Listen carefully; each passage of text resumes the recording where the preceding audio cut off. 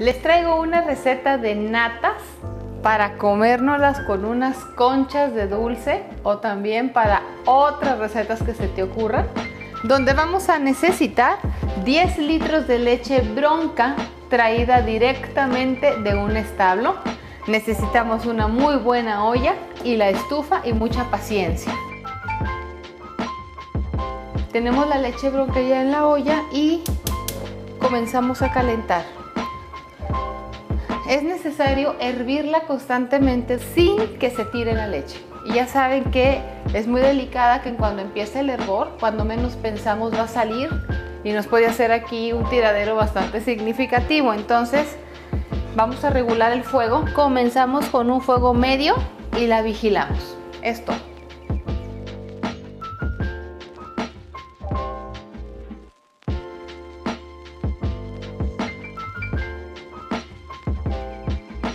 En esta otra olla de paredes más delgadas pusimos los otros 5 litros de leche. Como nos quedó bastante espacio, le podemos dar chance a que esta leche suba con menos riesgo de que se vaya a derramar. Esta leche ya está hirviendo, la vamos a dejar que esté hirviendo durante mínimo 20 minutos porque no debe de dejar de hervir para que se pausterice bien y después la apagamos y vamos a dejar que se forme la nata. En esta otra olla inicial, en esta pues ya tenemos unos 35-40 minutos que ha hervido. Me costó un poco más mantener el hervor constante sin que se derramara la leche. Pero ya que lo logramos, ahí comenzamos a contar los minutos para asegurarnos de que se pausterice bien y la podamos consumir sin ningún riesgo.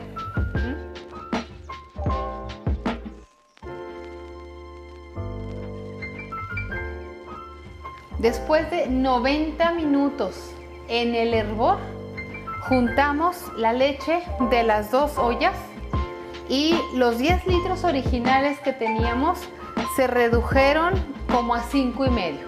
Para que tengan idea la cantidad de agua que pierdes cuando estás sirviendo la leche.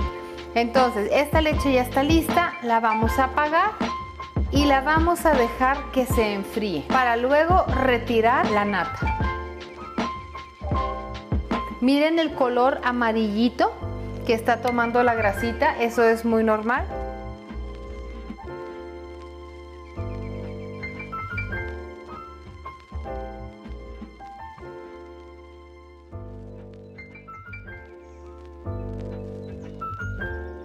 Aquí tenemos la nata que nos salió de 10 litros de leche.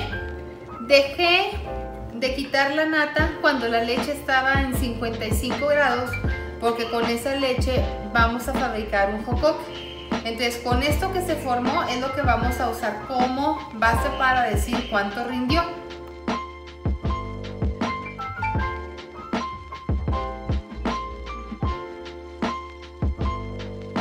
Y pues son 255 gramos, o sea como un cuarto de kilo de nata por 10 litros de leche. Esto lo vamos a dejar reposar unos dos días en el refrigerador para que se concentre el sabor.